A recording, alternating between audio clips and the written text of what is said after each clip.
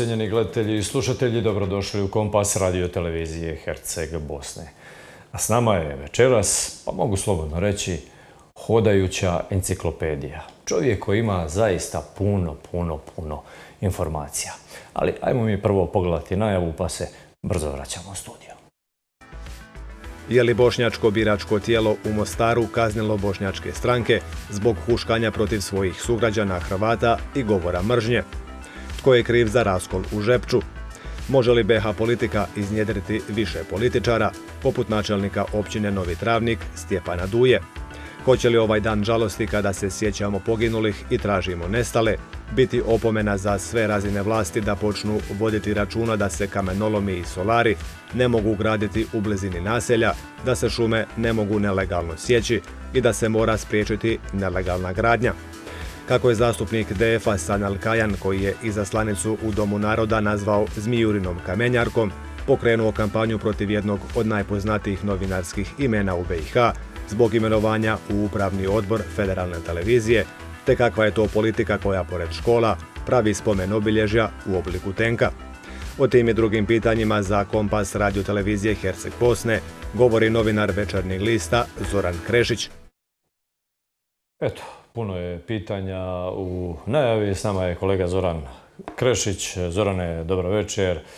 Dobrodošao u studio radio televizije Herceg Bosne, jedine javne radio televizije na hrvatskom jeziku u Bosni i Hercegovini.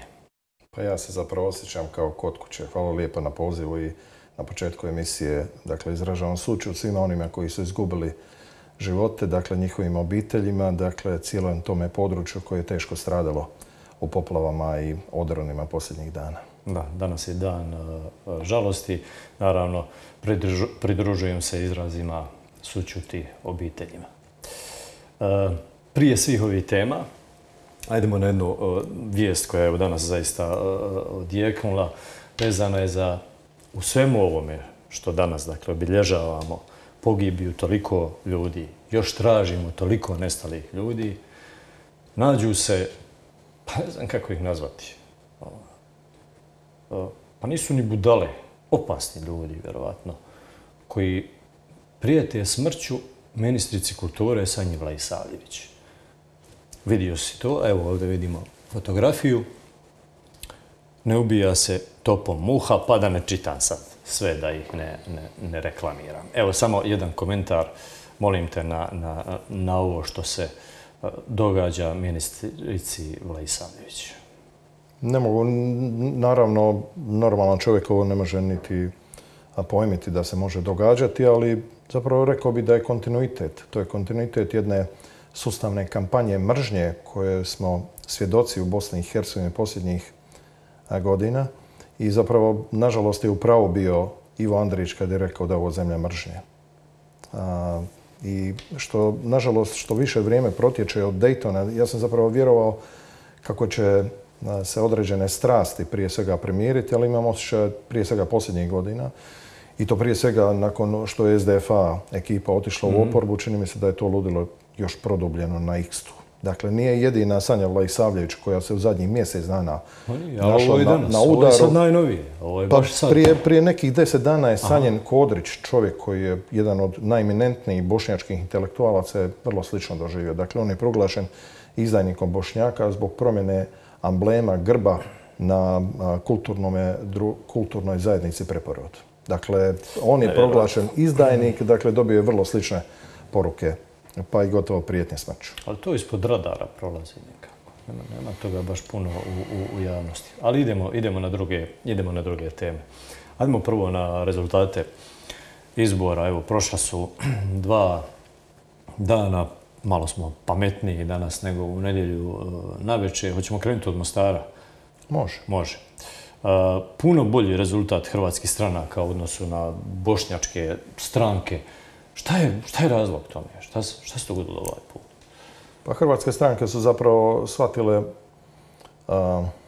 možda je grubo, kada vas neko pobjedi sa manjim brojem glasova, određenim makinacijama koje su dopuštene u izbornom procesu, da sa manje glasova, ali boljom organizacijom dobijete izbore. Svjedoci smo bili prije četiri godine masovnog prijavljivanja Bošnjaka, dakle fiktivnog u području Jug Pa tu je zakazao ovaj ministar unutarnjih poslova tadašnji. Pa uz, ostalo, dakle, i brojni drugi koji su u, liniji, pa vam uzmu jedan mandat u izbornom području Jugozapad, pa vam uzmu jedan mandat u, zapadu. Mhm.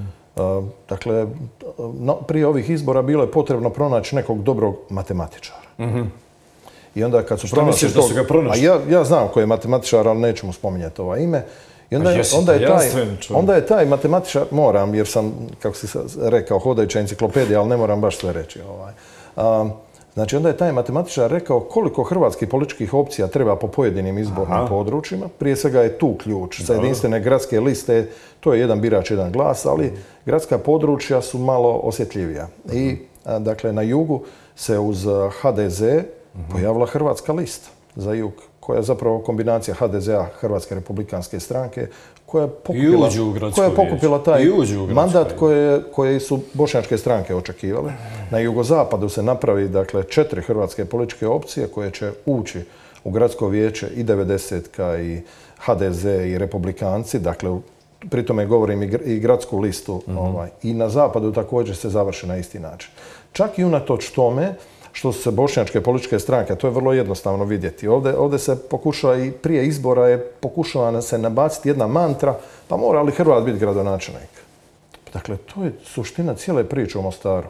Dakle, postoje dvije, na, najprije mi smo u predpolitičkom društvu. Ovdje se glasuje uglavnom po krvnim zrncima. Za Hrvata i Bošnjaka. Odnosno, samo je bitno će biti Hrvat ili Bošnjak gradonačelnik. I da se prestanemo šminkati govoriti da je zapravo drugčije.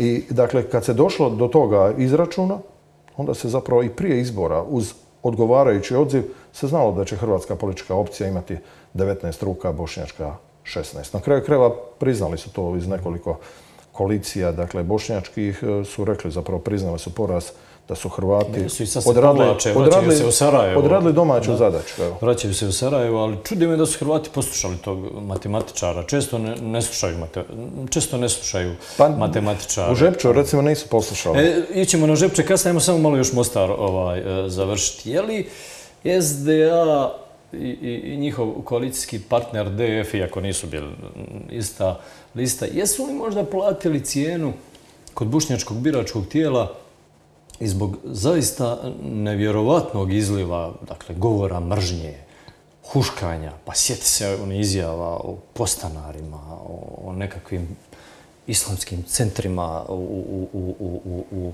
na kazališnom trgu i da ne nabrajam sve one izjave koje smo, koje smo imali posljednjih, ovaj, posljednjih mjeseci. Je li bošnjačko biračko tijelo reklo dosta?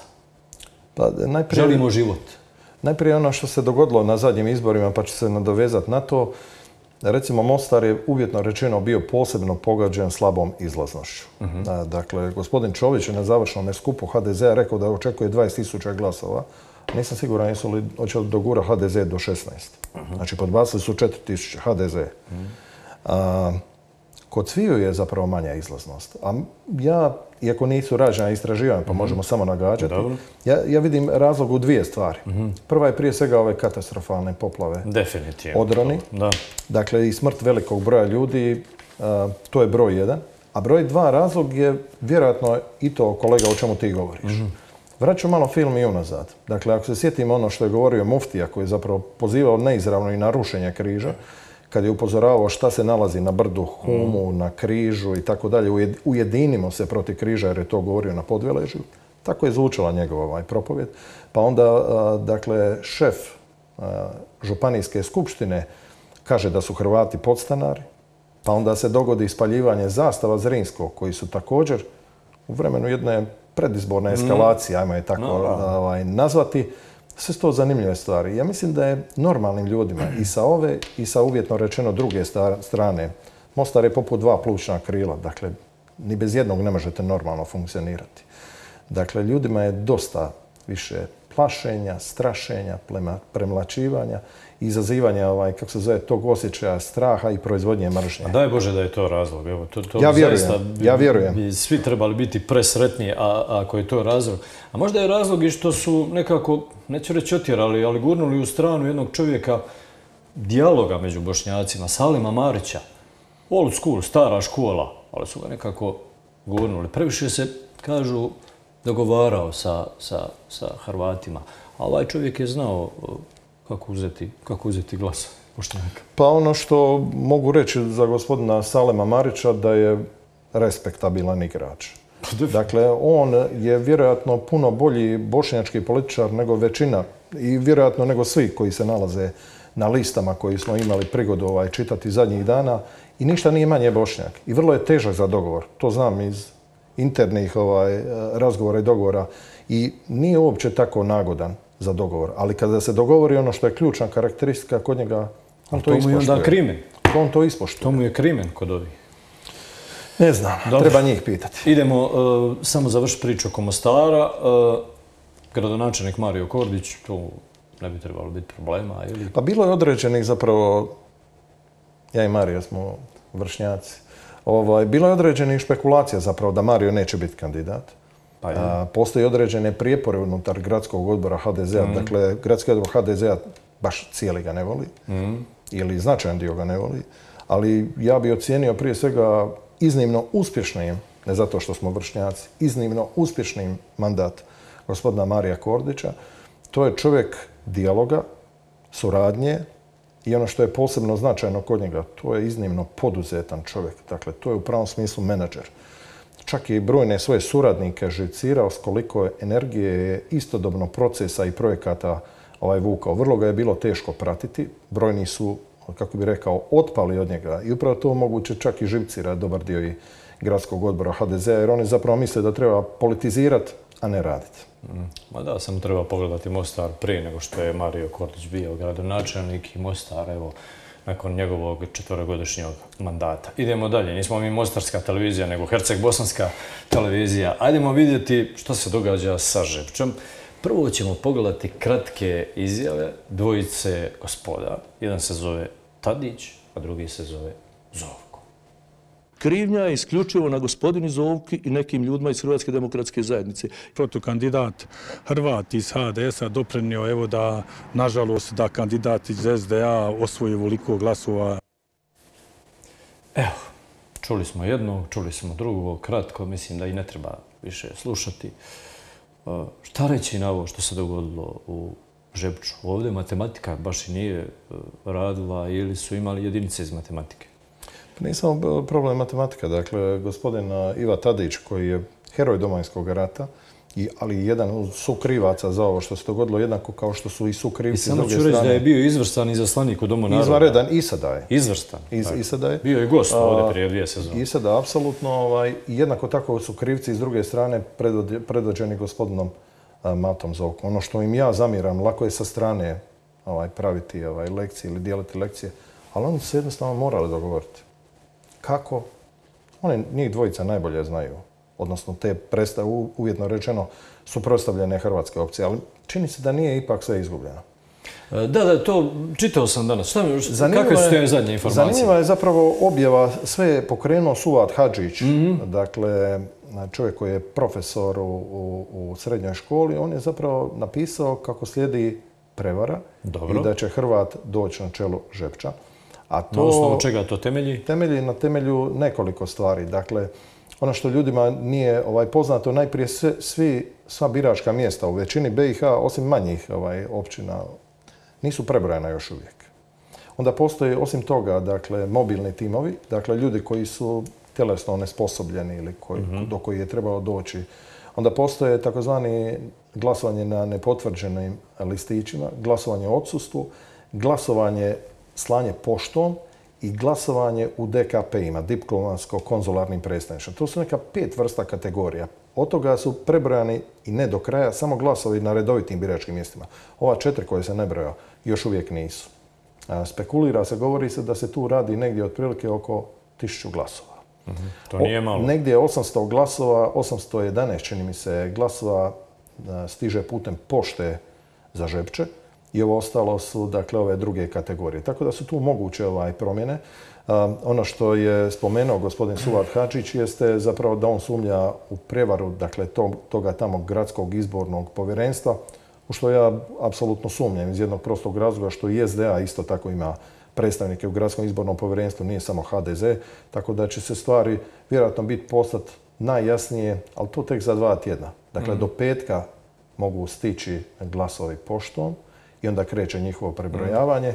Biće poznato sljedećih desetak dana gradonačelnik. Dakle, dugo će biti neizvjesno. Ali ali, sve, ali svejedno je to Ruglo velika, je, ruglo velika je poruka. ovo što su radili. Velika poruka. Ruglo je ovo što su radili ova dva čovjeka, pogotovo nakon onoga što je Žepče preživjelo u domovinskom ratu, opsadu. Nisu smjeli opsadu. jednostavno. Ma, ma, naravno da nisu smjeli. Za razliku od njih u Novom Travniku ima, postoji čovjek koji se zove Stjepan Duje. Pobjeđuje i za ovog čovjeka ne glasuju samo Hrvati. To je više glasuju i. Bošnjaci, i Srbi, i građani, To je i ostali, da ne nabraja se. Gdje je formula njegovog e, uspjeha? I, I može li biti više Stjepana Duja u Bosni i Pa Hercegovini? prije svega Stjepan Dujo ili ako ste, a ja jesam ovaj, posjećivao Novi Travnik, dakle vidi se njegova i rukopis i energija. Dakle u Novome Travniku to je jedan vrlo perspektivan grad, gradić u središnjoj Bosni sa dosta industrije i sa dosta poduzetnih ljudi.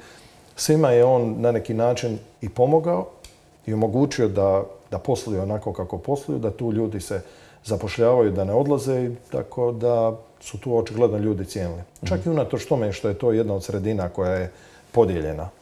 Dakle, ali također je istina Ali i to, ovo... to je još veći uspjeh da u takvoj sredini... Također je istina i ovo da su Bošnjaci imali tamo dva kandidata. Jedan je bio opcije trojke, a drugi SDA. Da. Ali su i Bošnjaci glasovali za ovo. Apsolutno, to se, to se vidi po brojkama. za, za ovoga čovjeka. Ajmo samo kratko u jednoj rečenici. Vitez Busovača jajce. Pa to zapravo u Jajcu je suverena pobjeda SDA, gospodina Hozana, a, Busovača, dakle tamo također a, čini mi se gospodin Delić iz SDA i spomenuli ste još a, Vitez Busovaču i Vitez, Boris Marjanović očekivano je pobjedio, dakle tamo a, su se Hrvati okupili oko jednog kandidata, tako da nije bilo rasipanja glasa. Eto što znači koalicija. Upravo Opet tako. dobri matematičari Upravo neki tako. bili. Posavina Odžak, šta se tu događa? Posavina Odžak, u Odžaku je moguće da opet zbog eh, dva hrvatska kandidata Bošnjak bude e, načelnik općine, ali čak to ne bi, prije svega zbog, zbog kako bi rekao, ozračja u Posavini. Posavini to uopće, je to, je. uopće nije Je, problem. je. Dakle, e, za razliku od nas ovdje, što bi ja zapravo želio da je, da je to tako, u crkvi pjeva dakle, zbor iz islamske vjerske Ma, da. dakle zajednice ili, ili obrnuto. Tako da tamo se nije dogodio rat. Dakle, postoji iznimno povjerenje i ne mislim da je to problem. Rat između čak, Bošnjaka i Hrvata. čak, da. između, čak i da dođe bošnjački ovaj kandidat, ja mislim da će posve jednako i dobro raditi posao načelnika općine. Da. Idemo u zapadnohercegovačku županiju, tamo nikad nikakvih iznenađenja. DDR. Iako, iako praktično stolcem zovu DDR, ali tamo HDZ toliko suvereno dobiva da zapravo drugi ne postoje. Nešto su i ono što je- republikanci u grudama. E, ali ono ovaj, što je zanimljivo, recimo u, u, u Posušju i u Mhm. Ljubuškom uopće HDZ-ovi kandidati za načelnike nisu imali protiv Ali kandidata. kako to objasniti? Evo, tamo nema ugroze. Tamo nema ugroze. Evo vidimo, dakle, Posušće gruda, Široki brijeg, e, Ljubuški, a nema tog, nema tog e, više stranača I- među ali Hrvatima. Meni je to, meni, ono, meni ono je što to je, zanimljivo. ono što je zanimljivo, dakle, prije svega, možda sam i grubo rekao ovaj DDR, ali A dobro, šalio prije, svega ću istaknuti Posušje Ljubuški. Dakle, dvojica načelnika, gospodin Markotić i gospodin Begić, to su načelnici za poželjeti. Dakle, to su iznimno mladi, dinamični, energični ljudi koji su uh, pomogli lokalnoj zajednici. Prije svega gospodin Markotić, to je jedno tako zlatno stvorenje, ne zato što je iz HDZ-a, nego je doista zlatno stvorenje, koji je od Ljubuškog pretvorio jedno od a, najvećih, kako bi rekao, meka turizma, učinio taj grad možda jednim od najljepšim trenutačno u kojemu ovdje na području Hercegovine se obitava. Dakle, kada uđete u Ljubuški, doista imate osjećaj da ulazite u Velegrad, a nije Ljubuški baš tako veliko centar, veliki centar. Tako da bih rekao da sam oduševljen. U Grudama također, dakle, dugogodišnji načelnik, dugogodišnji načelnik koji izvanredno radi svoj posao, a u Širokom Širokom ne znam ovoga. Konačno, došao je... dakle, čovjek. Došao je čovjek koji je naslijedio Miru Kraljevića koji je tamo, čini mi se, ne znam, 16 ili 20 godina načelnik. Je. Možda predugo.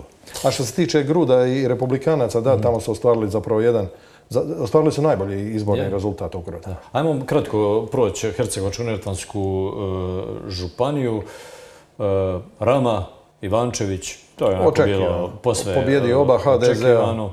Čapljina, dama, prva dama na, na, na čelu općine, Iva, Iva Raguž, Također, ovaj, Domu naroda. Ma, također je bilo očekivano zato što u Čapljini su zapravo osim HDZ-a jedina ozbiljna oporba je Čapljinska lista. Tako da to najbolje govori. Dakle, druge političke opcije zapravo nemaju gotovo nikakva. Stolac, stolac je onako uvijek... e, DDR, ja to zovem. DDR. I to je na neki način moj kraj, stolačko-neumski, evo tamo su krešći.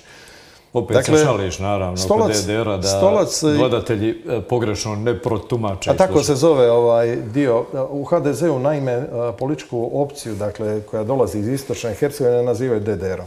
Ali nije to DDR u pravom smislu. Oni su jedna od najorganiziranijih stranačkih infrastruktura HDZ-a dole.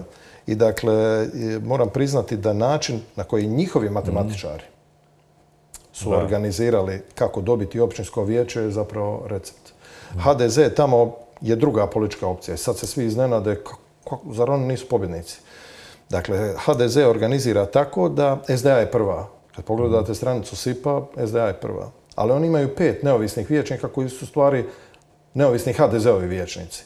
I rasporedi se točno određeni broj glasova, dogovori se s ljudima koji će ovaj, glasovati na biračkom području, tako da Hrvati tamo imaju dvije trećine. Možda ovi žepča da odu na tečaj u, u, u stolac. A može i online, sad i online tehnologije Da, su isto postoji i online da. tečajevi.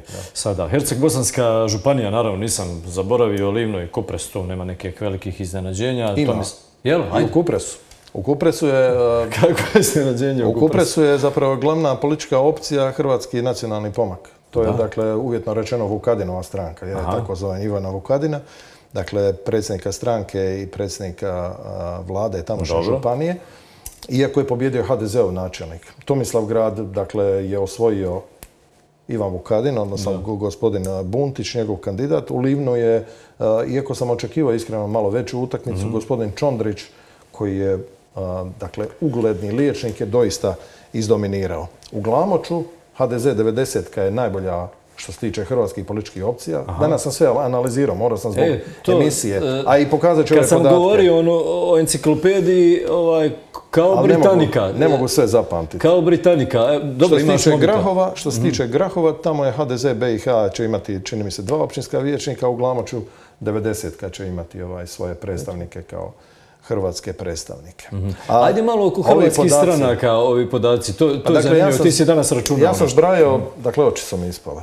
Da, ja sam danas a, zbrajao od a, Brčkog, a, Odžaka, dakle kreće- krećući se od sjevera prema jugu, koliko su u pojedinim vijećima hrvatske političke stranke dobile. A, po sadašnjim rezultatima morat će se uzeti u obzir i rezultati za Republiku Srpsku, jer tu većinu dopisnih glasova, tamo su naši ljudi pobijeni, nestali, etničko očišćenje. Dakle, Broda, Dervente i ostalih općina gdje činimo neku o, značajniji utjecaj, ti rezultati nisu pribrojani. To je nekih desetak, 12 primjerice mandata, ali po onima što sam dakle, računao, uključujući i Tuzlu, recimo, gdje HDZ prelazi izborni prag, Srebrenik gdje prelazi izborni prag, HDZ BiH ima 301 vijećnika na razini Bosne i Hercegovine, HDZ 90 57, Hrvatski nacionalni pomak 17, razni HSP-ovi, a to je ovi možda rezultati kad ih kad zbrajate, kad gledate, dakle njih ima i u Posavini, i u Srednjoj Bosni, i u Hercegovini. Dakle, to, bi, to točno ukazuje da se oni jednostavno moraju ujediniti. A neće I da ta ma, hrvatska politička opcija je primjerice četvrta četvrta među Hrvatima. Ma, Oni imaju su 16 prvi, oni- vijećnika, oni te se a imaju, a imaju daleko veći potencijal kad bi bili zajedno. Dakle, to je HDZ, HSP BiH, HSP Herce Bosne, HSP i tako dalje. Hrvatska republikanska stranka ima 14 mandata, ona se nalazi na petom mjestu, HSS Stjepan Radić 10, dakle to je prije svega zbog Dobretića gdje je gospodin Čakarić a, načelnik općine i Hrvatska demokratska a, stranka, to je stranka gospodina Ive Tadića, oni imaju u Varešu i u Žepču ukupno osam vijećnika. E, dobro. Sad smo, ja mislim da smo izanalizirali izbore. Ajmo samo u jednoj rečenici bošnjačka, srpska e, scena što se njih tiče, nekih velikih iznenađenja je bilo, nije bilo prema tvom sudu. Pa ono što ja, ovaj, otprilike status quo, a, gospodin Dodik je očekivao da će dobiti Banja Luku, ali nije, očigledno je Draško Stanivuković daleko utjecajniji i ono što cijelo vrijeme ljudi zapravo govore jeste da je to neka vrsta bunta Banja Luke protiv SNSD-a. Tako se tumači u krugovima. A u Sarajevu je SDA išla, dakle nije se uopće naticala ni za jednoga načelnika općine, sarajevskih općina. Znači to je prepustila svojim satelitima stranci za BiH i DF, ali oni su uglavnom izgubili i to su pobjedio je samo predsjednik stranke za BiH Novom Sarajevu, gospodin Efendić. A ostalo su uglavnom dobili dakle, predstavnici trojke koji imaju u tome značajan kapital. Dakle, Sarajevo su prije svega dobili u Trojci, dobili su na neki način i u Zenici, jer je to dio federalne koalicije, dobili su u Tuzli, to su najveći centri kod Bošnjaka, tako da SDA je rastao, ali ne bih rekao da je to pirova pobjeda, ali je prije svega glavne centre je uzela trojka. E, idemo na druge teme. teme. E, danas je dan žalosti, rekli smo više od 20 e, mrtvi, traga se za, za nestalima. Dakle, zaista nezapamćena tragedija još od domovinskog rata. Dosta ih je, eksperti kažu, poginulo zbog, vidimo ovdje fotografiju, zbog kamenoloma iznad Javlanice. Mene zanima ova informacija, dakle, te imali su koncesiju, te nisu imali koncesiju. Čak se pojavila informacija da su ih subvencionirali iz vlade Hercegovačko-Neretvanske županije i, federalne e, vlade, ali nešto drugo zanima. Nisi psiholog, ali nešto bi te htio pitati oko toga. Možeš li zamisliti mentalni sklop čovjeka koji iznad naseljenog mjesta napravi ovo što su ovi napravili? Pa ne mogu. Vrlo šta, šta se ti da... Otkud ta gramzivost? Otkud daj, daj, ta glad, ta, šta je više u tim, u tim nije, nije, problem samo u njima. Problem je prije svega u vlasti. Pa naravno u sustavu. Ja prije svega u sustavu vlasti. Ali prvo ti ljudi, šta je to? Dakle, koliko, e, najbolje možda usporedba ili kad, kad govorimo zašto se naši mm. ljudi civilizirano ponašaju u Njemačkoj, zašto se vežu mm. pojas, čim pređemo granicu ovaj, kod Vinjana i tako dalje. Pa znate da će vam neko opaliti kaznu. Naravno da u Njemačkoj postoji vjerojatno tisuću mjesta na kojima se mogu graditi kamenolom. Ne može. Pogotovo ne, može iznad naseljenog mjesta. Ma ovo je, ovo je, ne znam kako ovo opisati, ovo, ovo je doista tako strašno da ne znam kako su ti ljudi uopće, a da nisu u strahu živjeli, očigledno nisu bili svjesni što im se nalazi iza njihovih glava. Dakle, to je kompletni horor. Dakle, imate blidinje koje je mhm. inače samo po sebi, mhm. ovaj, kako se zove, ogromno i imaju dosta, ovaj, kako se zove, područja, dakle, izvorišta svih voda koje, koje mi praktično pijemo i radobolje, dakle i dobroga dijela ono što mhm. dolazi prema Jablanici, dolazi iz područja Blidinja. To su neki vodotokovi. Očigledno, kad je palo 330 litara kiše i na Blidinju i svem ostalom, negdje je to moralo proći. A onda imate onu klisuru, ako može mm. ovaj kolega pokazati. nam samo fotografiju, Dakle, tu imate ovako jedno, ovaj, kako bi rekao, lijevak, lijevak koji se gotovo prirodno mm. će se sručiti na ove kuće. Eksperti kažu da je to pobilo ljude. Zapravo pa da su oni... Da su pa oni, ne, treba čak ni biti previše ekspert zaista je ovo nešto, nešto Ali zakazala je, zakazala je država, zakazala je prije svega po meni država. Šta je s dakle, inspekcijama? Šta je sa općinama? Nije bilo dovoljno, nije bilo dovoljno samo zapečati to. To, mhm. to područje se moralo sanirati. Pa, apsolutno. Dakle, ono što se događalo iznad toga područja, što smo svjedoci i, dakle, i ljetnih mjeseci i na mhm. Blidinju, dakle, ilegalna sjeća, a to je prije svega u Konjicu, mhm. daleko veći problem primjerice i područje e, sela oko Butorović polja i sela Zlate u Jablanici, također ilegalna sjeća, paljevine preko ljeta, dakle, ono što nam se događa i kad sve to imate zajedno, dakle, kad se spoji 330 litara od 24 sata, kada imate sprženu zemlju, mhm. kad imate načeti kamenolom, ako se mhm. sjećate prije nekoliko mjeseci se to isto dogodilo u na sjevernom dijelu Mostara. Samo srećom nije nikoga bilo tamo. Dakle, na isti način da su bile dole kuće, vjerojatno bi bilo isto toliko. I to nije bilo dovoljna opomena da se, da se sve ovo pa, nažalost, nije, nije, ovo jedino mjesto. Pa zadnjih dana slušamo kako i u okolici Sarajeva, ako, ako ste bili zadnjih mjeseci radi se jedan, meni izgleda kao ono, ko neki zamak iznad Sarajeva, mhm. dakle gdje je iskrčeno tolika količina šume, postavljeno toliko kamenja, ako se dogodi neka slična kiša, daj Bože da, ne, da i tamo ne, ne završi onako kako je završilo Jablanac. Pa ja imam informacije po istočnoj Hercegovini šta se radi sa dakle, zemljom koju posjeduju Hrvati. Dakle, masovno im se sječe šuma, ali to nije na nacionalnoj osnovi. To zajedno rade i Srbi Da, i Hrvati. da, da. A onda ih štite u policiji, jer imaju pinku, imaju koristi od toga, ali to će biti jedna posebna, to će biti jedna eh, posebna priča. U cijelom ovom zlu koje nas je zadesilo, dogodilo se jedno dobro. To je pokazalo se koliko su ljudi ovdje humani, koliko su spremni jedni drugima pomoći. Pa će nam režija sad prikazati jednu fotografiju navijača Zrinskog, ultrasa koji su se onako probili, može preko cijelog ekrana, koji su se probili preko šuma i gora i da ne govorim nija kuda sve, da bi ljudima donijeli najosnovnije potrebštine. Zaista ovo su ovo su onako neki ljudski, ljudski trenuci koji treba zabilježiti, koje treba apsolutno pohvaliti. Ma aplauz dečki mene što je zapravo tu, kako bih rekao, kad se govori o navijačima, uglavnom je prva asocijacija su neredi. E pa zato sam namjerno pustio. A dakle, oni su sve suprotno od toga. Dakle, ovi dečki su pokazali da su i humani, da su i žele pomoći, dakle, da nisu netko ko pravi nerede, nego da pače nitko od nas. Evo ja nisam bio primjerice na tim potopljenim područjima. Mm. Zbog posla i nekih drugih stvari koje jesu, a dakle, zavidim i želim čestiti. U Hercegovini je sada moderno graditi solare. E, ima tu zaista gospodarstvenika koji poštuju pravila, koji se dogovaraju s lokalnom zajednicom, ali imamo i slučajeva gdje se gradi oko naselja. Što tu učiniti? Je li ovo što se dogodilo u Jablanici dovoljna opomena da se malo detaljnije to pročešlja?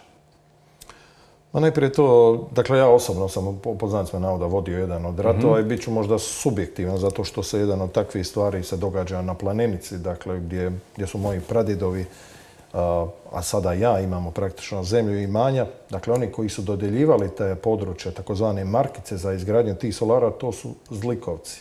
Dakle, to govorim i za ljude i u gradskim vijećima i svima onima koji su sudjelovali u tome. To nisu uopće časni ljudi, nego netko koji je ni ne razmišljajući zapravo ugrozio život drugima. E sad postavite, postavimo sljedeću mm -hmm. ovaj situaciju. Doista postoji jedan lijevak. -hmm. Pogledate na planinicu, srećom ona je dovoljno sušna i vrlo rijetko oko Mostara pada toliko vode. Da, je, da padne 330 litara vode i da se napravi nekoliko tih solara o kojima se razmišlja, dakle Vihović i Cim, dobar dio Rudnika i Orlaca bi isto tako doživio sudbinu kako su doživjeli oni u Donjoj Jablanici. Možda ne bi ne takvu, da. možda ne bi takvu zato što nema kamenoloma koji -hmm. doista je možda da, najveći on je baš uzročnik. bio ali, bomba. ali da. sigurno kada bi se survalo sa te visine, bojim se da bi, da, bi, da situacija nimalo ne bi bila idilična. Idemo, Zorane, na druge teme. Vrijeme nam leti. Idemo na ono što se tebi događa. Onog trenutka kad se prijavio za upravni odbor federalne televizije, krenula je mašinerija. Krenula je hajka, uh, onako, pa mogu reći neviđenih razmjera. Jedan od pokretača te hajke je zastupnik Komšićevog DF-a, Sanel Kajan, koji je evo izgubio na ovim lokalnim izborima u Mostaru u nedjelju.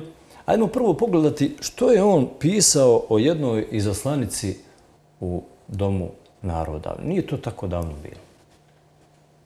Iako ne sjedimo u istom domu, jer ja sam zastupnik kojeg je narod birao, a ona delegat koju je stranka tu poslala, vrlo rado ću tražiti prisustvo narednoj sjednici Doma naroda da Zmijurinu kamenjarku pogledam u oči. Eto, zastupnik i Zmijurina kamenjarka. E sad, mene zanima kako je moguće da u bilo kojoj evropskoj zemlji, ok, možda Afganistanu, ne znam, ali u zemlji. Netko ko ovo kaže ili napiše, ostane zastupnik. A jeste vidjeli reakciju uvjetno rečeno u bošnjačkim medijima?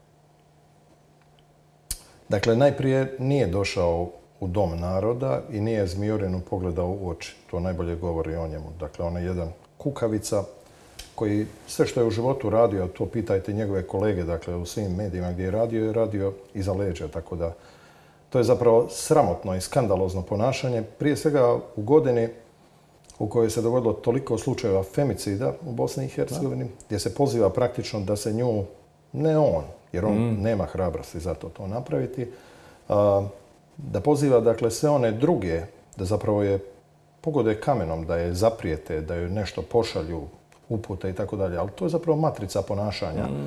Dakle, tih i takvih kukavica koji zapravo mi je to jedini način za obračunavanje putem tastatura. U javnom sučeljavanju oni ne suze. Ali gdje je pravna država, Zoran? Gdje je Pa, pravna država postoji. ako ti kao zastupnik kažeš izaslanici, zastupnici, da je zmija kamenjarka u eri femicida? Pa Gdje je pravna država? Pa vidjeli smo ovaj, kako je se ta pravna država postupila i prema nekim prijavama o negiranju ratnih zločina protiv određenih političara iz Sarajeva. Sve je odbacila. Dakle, tu je prijavu podnijela Hrvatska republikanska stranka. Prije nekih deset dana je sve odbačeno. Ali e, Sanel Kajan je, koliko ja znam, i predsjednik povjerenstva za informiranje u zastupničkom domu federalnog parlamenta. E, Imaš li ti informacije tko je glasovao za njega? Jesu li hrvatski zastupnici za njega Pa jesu. Pa šta ti to govori? Pa krimen. Dakle, krimen propusta, ja imam jednu od teorija, dakle, za većinu, a prije svega i za HDZ-ovce, dakle, ako postoji pakao, a vjerojatno postoji, jedan od grijeha koji vam trasira put u pakao je grijeh propusta. Dignuti ruku za takvog čovjeka koji je čovjek mržnje je za mene neoprostivo, ali oni valjda misle da je to okej. Da. E, ova hajka koja je na tebe pokrenuta, razgovarao sam malo i s kolegama, mene nekako podsjeća na, u retoričkom smislu, retoričkom smislu, na ono što, što Putin radi e, Ukrajincima. Tebi je krimen nešto što si izjavljivao prije nekoliko godina. Ti stojiš i dalje i, i, iza toga. Dakle, šta kaže Putin Ukrajincima? Nemate pravo na državu, nemate pravo na republiku. Prva stvar. Druga stvar, niste nacija. Nemate pravo na naciju, nemate pravo na jezik. I treća stvar, da ih treba denacificirati. Ja sad, kad analiziram te tri točke, ne vidim neke velike razlike između onoga što su tebe stavljali e, na krimen i onoga što Putin u retoričkom smislu stavlja kao krimen Ukrajincima. Pa zapravo to je matrica ponašanja. Ja sam se tu našao, kao što si sam rekao, samo zato što sam se drznuo prijaviti za upravni odbor federalne televizije. A, to čak bi rekao i korak dalje. A, oni koji su čitali Kafkin proces, dakle ja sam Jozef K. u tome procesu. Dakle, i, i sjajno je to zapravo napisao, tu moram reći da, da sam posebno počašćen uz to što su mi stotine kolega su me nazvali, dakle sa svih strana i dobio sam potporu od onih koji su mi doista važni i koji su me trebali podržati i zbog toga im neizmjerno hvala. Ovdje želim reći zapravo da je ključno u svemu tome da se zabranjuje a mene je posebno razočarao dakle, istup, odnosno status na Twitteru koji je uputila američka ambasada, odnosno gospodin Murphy, u kojem se zapravo zabranjuje sloboda govora, što je skandal svjetske vrste, da se onemogućava praktično prvi američki amandman, a prvi američki amandman kaže da je on je praktično jednaki kao sveto pismo. Na početku bijaše riječ. A američki ustav kaže da se mora kao sveto pismo čuvati sloboda govora i sloboda novinara. Dakle, ja sve izjave koje sam izjavljivao nisam govorio kao član upravnog odbora ili kandidat za upravni odbor, nego kao novinar. I stavljati na stup srama nekoga koji ima određene stavove o nečemu, koji pritome nije pozivao ni na mržnju, ni na nasilje, ni na ubijanje, je za mene apsolutno neprihvatljivo. Ja vam moram reći, evo, bit će na neki način i ekskluzivno. Aha, reci. Dakle, ono što je objavio i gospodin Murphy, odnosno američka ambasada, sam prijavio svim relevantnim američkim institucijama u Washingtonu, brojnim američkim kongresnicima i senatorima, udruženjima za zaštitu novinara, novinarskih prava, Amnesty International i Human Rights Watchu i brojnima drugima, od principa neću odustati. Dakle, nevažno. I ne smiješ odustati. ne, nevažno tko se nalazi s druge strane. Ono, ljudi su mi, s kojima sam se konzultirao na neki način. Lju- Čovječe, ti se ratuješ sa Amerikom. Ne, ja ne ratujem uopće sa Amerikom. Za Amerika je meni kolijevka demokracija, ali gospodin Murphy to nije. Zorane, ti znaš da, da je ovo sad postala znatno šira priča od toga hoćeš i ti biti član upravnog a, odbora federalne televizije. To je bilo na nekom stoj, nekom mjestu u, u političkoj sferi. Sada je to numero uno u političkoj sferi. Pa nije, brzo je ispuhalo. Ne, ne, dopusti, dopusti. A, ovdje više nije u pitanju samo Zoran Krešić. Ovdje je sad nešto drugo u pitanju. Je li pripadnicima jednog naroda dopušteno govoriti, a pripadnicima drugoga naroda nije dopušteno govoriti? A to zapravo Zašto pripadnici jednog naroda mogu govoriti o građanskoj republici, a pripadnici drugoga naroda ne mogu govoriti o građanskoj republici? Šta je to? Verbalni delikt? Čemu mi pričamo ovdje? i verbalni delikti, ali ono što je najstrašnije od svega, različiti strand- standarde i kriteriji. Dakle, do- vrlo dobro se zna tko je potpisao i Washington i Dayton, kako su nastali, ko- kako je se ovdje vodio rat, ko je međusobno ratovao, ko je potpisivao mirovne sporazume. Ne treba to previše objašnjavati. I ono što ja hoću reći, evo na neki način i intimno, ja sam jedan od ljudi koji je od eh, određenih struktura, dakle novinarskih, ne političkih, pregovarao praktično u trenutku kada međunarodna zajednica vrši invaziju, ajmo tako reći, na erotel gašenje te hrvatske televizije. I razgovarao sam, dakle, i bio sam dio projekta o uspostavi federalne televizije sa dva kanala, vrlo precizno, jednim na bosanskom, a drugi na hrvatskom programu.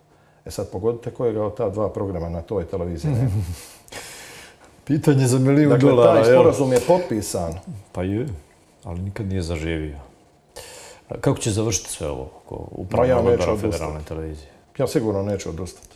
I nije važno koliko će uopće mene i moje energije to oduzeti. Dakle, ja od principa, od načela, kako Hrvati kažu, neću sigurno odustati iz jednog prostog razloga, nešto si rekao i malo prije. Dakle, nije, ja shvaćam da nije ovo samo moja utakmica. Dakle, ovo je puno šira utakmica u kojoj se zapravo mora pokazati da Hrvati nešto predstavljaju u ovoj zemlji. Da. Ajdemo na e, iduće teme. Slučaj Slavena Kovačevića, eto, čovjeka koji nikako ne zna koje je nacije. Jedan dan je jedne nacije, pripadnik jednog naroda, drugi dan drugog, treći dan trećeg. Molim te, objasni što jednostavnije ljudima, šta on hoće u, Strasboru? Šta ovaj čovjek hoće u Strasboru? Znači, najprije kratka biografija. Doktor Slaven Kovačević je čovjek koji je u politici jako dugo godina. U mandatu od 2014. do 2018. je bio uh, zastupnik, odnosno vijećnik u gradskom vijeću Sarajeva. Tad se izjašnjavao kao Hrvat. I od prije nekih mjesec dana kad uđete na stranicu gradskog vijeća Sarajeva i pogledate a, dakle, te ljude u prethodnim mandatima gdje su bili, stoji i dalje njegovo ime. Ali znate šta? Izbrisana nacionalnost. Ne piše više da je Hrvat. Pa šta je sad? A bio je nakon toga Srbin u nekim županijskim strukturama Sarajevske županije, a apelaciju, apelaciju, Dobro. dakle, Europskom sudu za ljudska prava je poslao kao bosanac. On u toj apelaciji, dakle, malo je komplicirana priča, ali ću samo spomenuti dvije stvari. On zapravo želi reći, i dobio je za pravo, Dobro. dakle, on želi reći da se ne mogu kombinirati u ostvarivanju njegovog pasivnog izbornog prava etnička i teritorijalna načela. Malo komplicirana Ali je bilo priča. kontaminacije u tom slučaju zbog e, izvjesnog suca I, I ne samo to, samo dopustiti da kažem ono što je zapravo jedan od najvažnijih stvari. Dakle, i u prvoj presudi Sejdić-Finci Dobro. i ovoj zadnjoj postoje glasovi razuma. Uh, sudac Bonello u presudi Sejdić-Finci, da, kaže, u pravu su oni, ali onaj ko, ko slijedi dakle, te principe sije uh, sjeme budućeg sukoba. To kaže sudac Bonello iz Italije. O, i, i predsjedavajuća maloga vijeća Europskog suda za ljudska prava, gospođa Kučko Štadlmajer, a, se apsolutno nije složila sa njegovom apelacijom, jer je ona zapravo isto našla za shodno da je on mijenjao svoje nacionalno izjašnjavanje i ono što je posebno značajno. Dakle, on tamo u toj apelaciji zostalo traži da on kao bosanac iz Sarajeva ne može glasovati za srpskog člana predsjedništva. Srpskog člana predsjedništva. Pazite, on je savjetnik hrvatskog člana predsjedništva. Što ispada da on nije zadovoljan s Komšićem. On možda glasovao za Željko Cvijanović. A mislim, to je... Ali ono, ono što je suština te priče, što je suština te priče, jeste zapravo Jedna prijevara zapravo je. Jest prijevara. da. I ono što, što je jako bitno reći, dakle, presude prvu Zornić, Šlaku, Mhm. Pilav, Pudarić, zadnju Kovačević je izmanipulirao sudac iz Bosne i Hercegovine, zove se Faris Vehabović. Dakle, to je čovjek koji je doslovno napisao presude, sve, sve te presude. Sejdić Finci je apsolutno opravdana presuda. I ona govori zapravo o potrebi da svi, uključujući i manjine, imaju prava se kandidirati za te ali pitanje pasivnog izbornog prava je vrlo komplicirana priča. Zbog toga se gospođa Štadlmajer nije složila s time.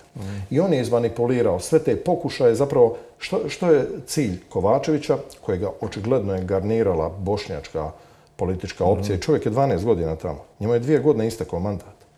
Dakle, je zamisao da se sruši Dayton preko Europskog suda za ljudska prava i, i stvori unitarna država. I šta onda? Pa dakle, to je isto Milošević radio u bivšoj Jugoslaviji. Jedan birač, jedan glas. I šta bi sad Hrvati, Hrvati, Srbi i veliki dio Bošnjaka, pa šta sad bi trebali pa biti presretni dakle, s tim? Milošević, Milošević, odnosno zbog te Miloševićeve ambicije, je nastao rat u bivšoj Jugoslaviji. Ta ista ambicija, ja ne znam jesu ti ljudi svjesni, ali očigledno, dakle, ako se ide na taj sustav, da ovdje se napravi država jednog naroda, najbrojnijeg naroda, a ovo su svi protagonisti upravo te priče, zapravo ti ljudi žele srušiti Dayton, njegove temelje i dakle ovdje izazvati nestabilnost. A možda je to i najbolji put, ako prođe presuda. Zbog toga se uz ostalo uključio gospodin Schmidt. Dakle, gospodin Schmidt ne ide u, Strasbourg zbog Hrvata. Ajmo napraviti drugčiju teoriju. On ide da zaustavi Hrvate.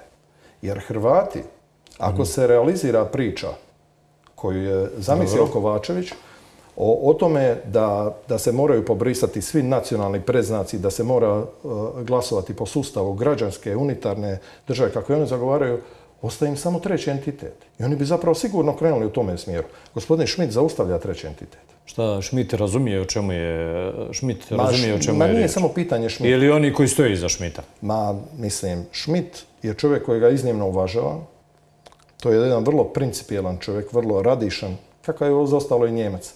Jako dobro upoznat sa svime što se događa u Bosni i Hercegovini, a zapravo ključne odluke donose Amerikanci. Amerikanci su skontali da se time raspakira Dejtonski mirovni sporazum, da su moguće nestabilnosti i zbog toga će poslati, po znacima navoda, gospodina Šmita da svjedoči u Strasbourgu. Ali ovaj Kovačević, sad nešto gledam, danas je dan žalosti vezano za, tragediju koja, nas je zadesila.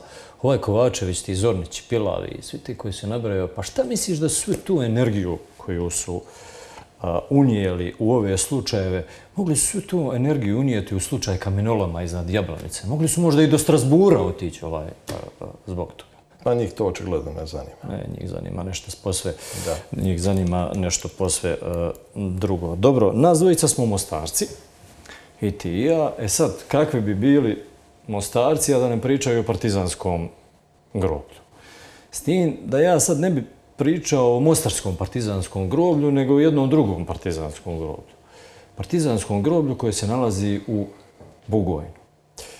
Samo ću pročitati šta je Stjepan Kljujić rekao vezano za, to groblje.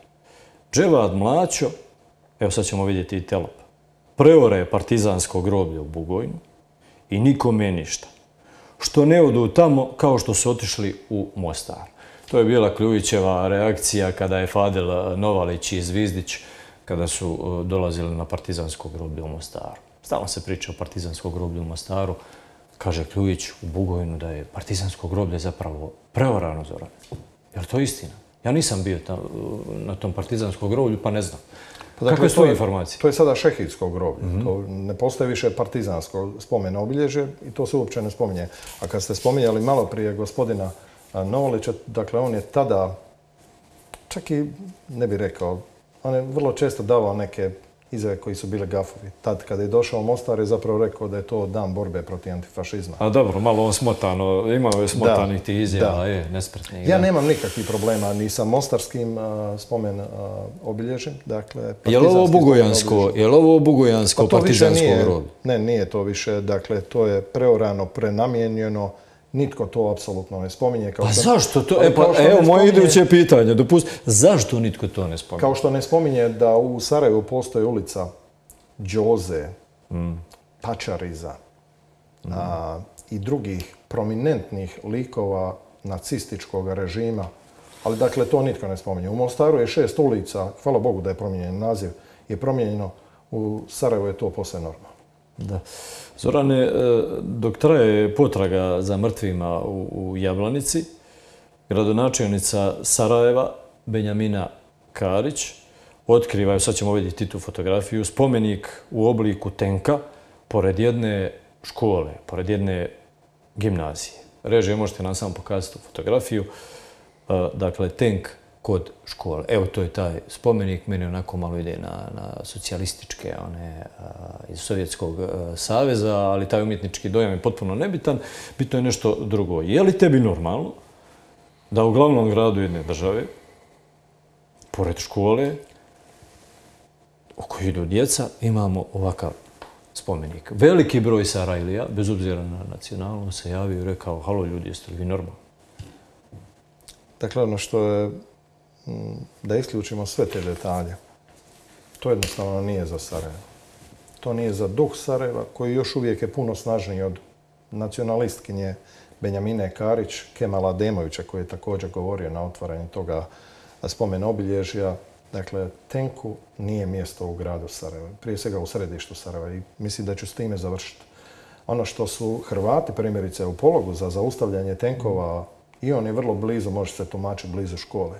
Ali, Polog nije glavni grad. Ali on nije u naseljenom mjestu. Pa ne možeš to usporediti, da, neuporedivo. I, I neusporedivo. Dakle, da je netko to htio napraviti u Mostaru primjerice, pa skočili bi svi. Ja bi apsolutno bio Pa svi bi skočili. Apsolutno bi svi skočili. Ali je ima zrno, zrno soli ali je i ovo primjerice gospođa iskoristila zbog izborne kampanje. Da. Evo umjesto tenkova u Mostaru se ubijenih sjećamo na jedan posve drugčiji način i to ubijene mostarske djece. Naša zadnja emisija potakla je jednog gospodina koji se zove Ilija Kožulj da postavi spomen ploču ubijenoj e, djeci. Naime, u siječnju, čini mi se, 1994. godine s položaja armije Bosne i Hercegovine ispaljene su granate, ubijeno je četvero djece i četvero djece je ranjeno. Ajdemo prvo vidjeti šta je to potaklo, ovako je to nekad izgledalo, ajdemo prvo vidjeti šta je to potaklo gospodina Kožulja pa da financira čovjek i sam pokrene postavljanje spomen ploče Mostarskoj djeci. Mi opet ništa ne znamo o tom zločinu. Um, tamo postoji neka derutna ploča. Tamo niko nikada nije položio ni vijenac, ni jedan cvijet. Zašto, zašto smo mi takvi ovaj, ovdje u Mostaru, Zoran? Ovo je zapravo, što se mene osobno mm. tiče, ista priča kao i osmica u Vitezu. Mm. Dakle, da. nije ništa bitno to to. ovaj drugčije. Ovdje su pogledna djeca od 12, 11 godina života. 10. Od 10, da, do 13 10, 11 godina, da.